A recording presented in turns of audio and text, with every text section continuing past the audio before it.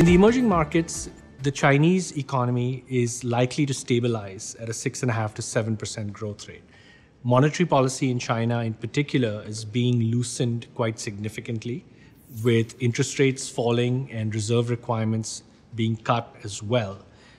And with the faster growth in China in the second half of this year, especially relative to the first quarter, we can broadly expect the emerging markets as a whole to stabilize. With inflation having peaked in major emerging market countries like Brazil and India, we can broadly expect monetary policy to turn from tightening in 2013 to easing in the second half of 2014.